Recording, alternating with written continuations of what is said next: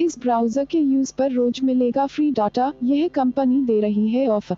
वैसे तो लगभग हर टेलीकॉम कंपनियाँ अपने कस्टमर्स को फ्री डाटा दे रही हैं।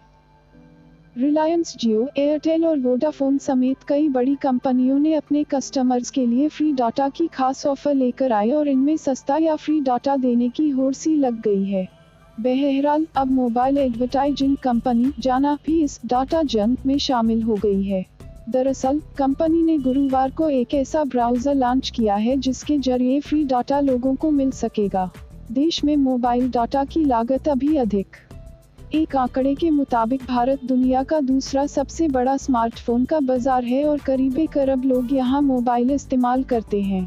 उभरते बाजारों में लोग बड़ी तेज़ी से एंड्रॉयड डिवाइस अपना रहे हैं, लेकिन मोबाइल डाटा की लागत अभी भी अधिक है।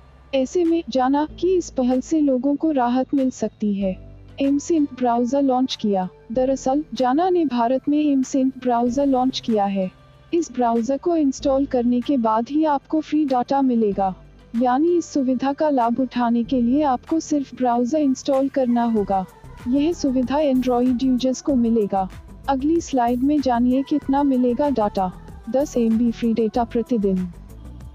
एमसिन ब्राउज़र डाउनलोड करने वाले कस्टमर्स को शुरुआती चरण में 10 एमबी फ्री डेटा प्रतिदिन यानी 70 एम डाटा प्रति सप्ताह दिए जाएँगे।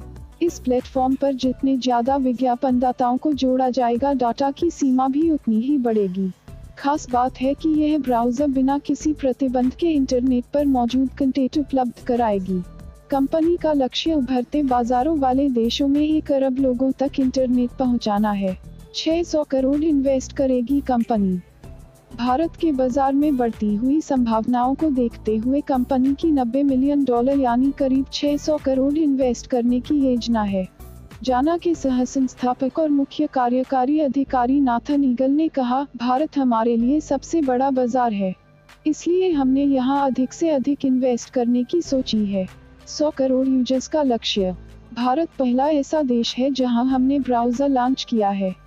हमें उम्मीद है कि 2017 के आखिरी तक 10 मिलियन यानी 100 करोड़ यूज़र हो जाएँगे। यूज़र्स को बढ़ाने के लिए हम सर्च इंजन गूगल समेत इंस्टाग्राम और फेसबुक की भी मदद लेंगे।